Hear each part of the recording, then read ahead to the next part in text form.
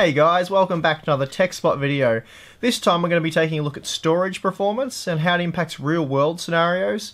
So in other words, we're putting away synthetic benchmarks such as Crystal Mark and AS SSD benchmark. Using a dedicated capture device, we're going to record how quickly our Core i7 6700K test system completes various tasks using Samsung's new 960 EVO SSD. Uh, those findings will be compared with results from Crucial's MX300, which is an affordable TLC based SATA SSD, and we'll also be throwing in a WD Red Pro 4TB mechanical hard drive for comparison as well. This isn't going to be a hugely in depth comparison where we test every application you're ever going to run. Uh, it's more of just a general look at real world performance and comparing these three very different storage devices. So, with that, let's get on with it and check out the benchmarks. First up, we have everyone's favourite, the boot test. This one's pretty simple. We measured the time it took for the system to load. Starting the test as the Windows 10 logo appeared, we then stopped the clock the moment the desktop loaded. This took Samsung's 960 EVO just 6 seconds, an impressive time indeed. That said, Crucial's MX300 wasn't far behind, taking just 9 seconds. Meanwhile, the 4TB hard drive keeps us waiting a good bit longer. As it grinded away, making all those classical mechanical hard drive sounds, I took a moment to appreciate not having used one of these things as a boot drive anymore. Anyway, Windows finally loaded after 36 seconds.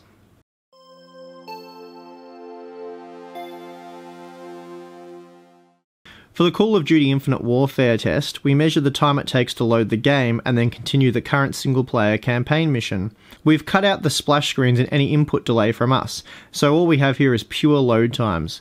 Essentially, if there were no splash screens, this is how long it would take you to get into the game and start playing. In the case of the 960 EVO, that time is just 11 seconds. Very impressive stuff. The MX300 takes a little over twice that time, loading in 25 seconds.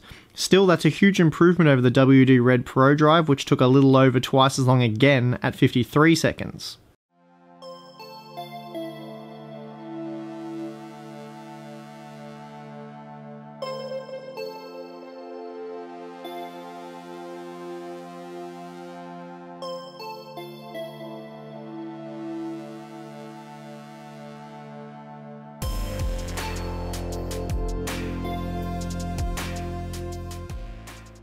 Civilization 6 is a game that we recently started benchmarking with, but notice that low level times were quite long, especially for the built in benchmark.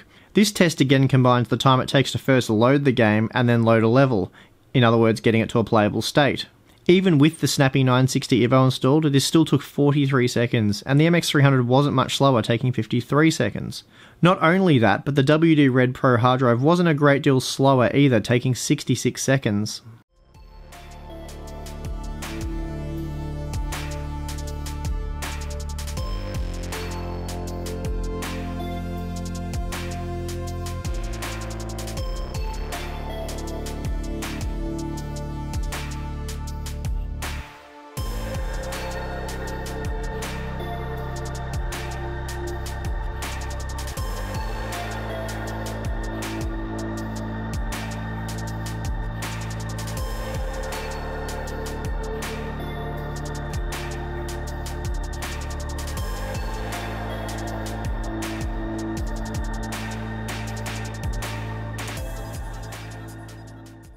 Moving on from the games, we decided to measure how long it took for each of these storage devices to load Premiere Pro.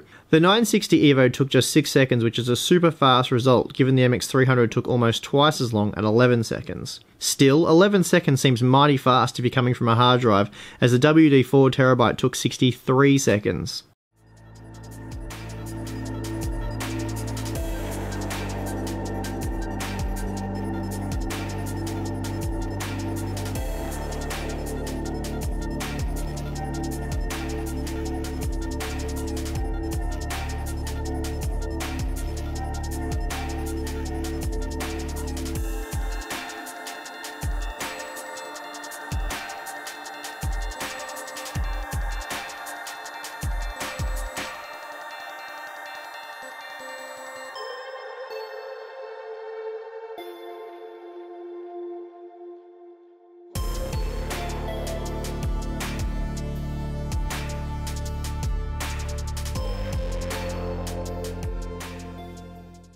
Finally, we took a look at the file extraction performance, though unlike the previous test, we won't show you this one in its entirety. The reason being the MX300 took a little over 4 minutes, while the hard drive made us wait almost 10 minutes. I thought I'd spare you guys having to watch the entire thing. The 960 EVO really proves its worth with these kinds of workloads, taking just 1 minute to complete the test, making it 4 times faster than the SATA SSD.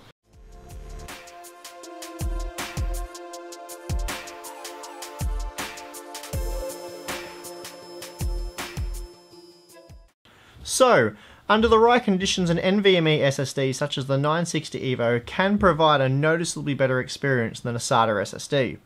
The right conditions, of course, would be a high end computer like the one we used, and ideally, you really want a heavy workload. Things like Windows boot times are improved, but certainly not to the degree that warrants spending twice as much per gigabyte. Game load times can be drastically reduced as well, though the MX300 wasn't exactly slow here to begin with. Not only that, but once the game is loaded, a high-speed NVMe SSD has nothing else to offer.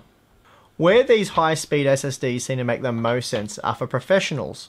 Content creators, for example, should see noticeable performance gains when working with Premiere. Not only is the application load time faster, but moving around and working with 4K content should be much quicker as well. Of course, if you do a lot of compression and decompression work, then a high-speed SSD is a must.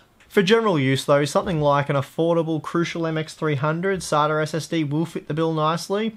Modern SATA SSDs are plenty fast, and they make mechanical hard drives look like something we probably should have left behind years ago, at least as primary storage drives anyway. Well, that concludes this video, guys. I hope you found the testing interesting, and we do have a lot more content like this planned for the TechSpot channel. I'm your host, Steve. I'll catch you guys next time.